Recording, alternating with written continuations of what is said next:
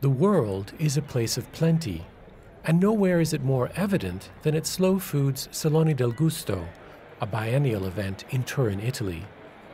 The multitude of foods on display here are produced by small farmers, and the message they bring is that the future of all this splendor is in their hands, a fact appreciated by the most food passionate people on the planet and off.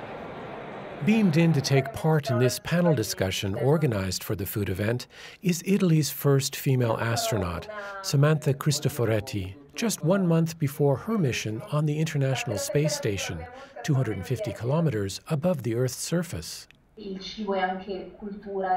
Food is also culture, tradition, linked to the place we come from.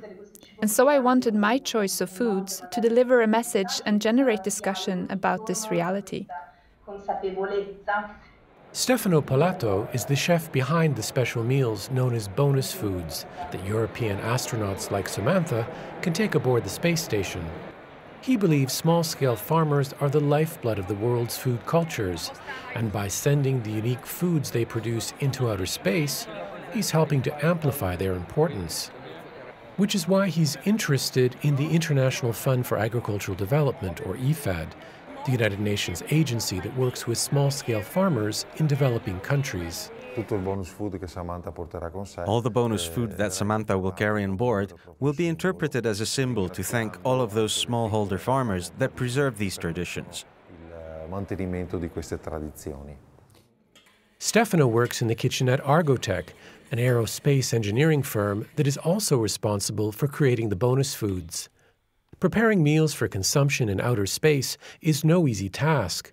It requires science, technology, and thermal engineering.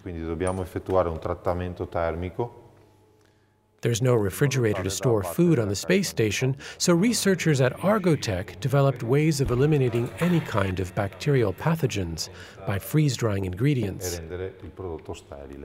Sourcing varieties of organic, nutritious foods is essential, and Stefano is always on the lookout for new ingredients, like these from small farmers in developing countries working with IFAD supported projects.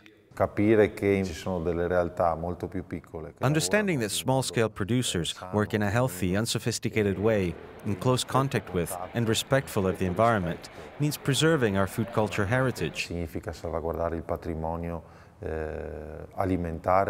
Because in the end, according to astronaut Samantha Cristoforetti, our health and food traditions depend on preserving agricultural biodiversity, a fact as evident in space as it is here on the ground in the food pavilions at the Salone del Gusto.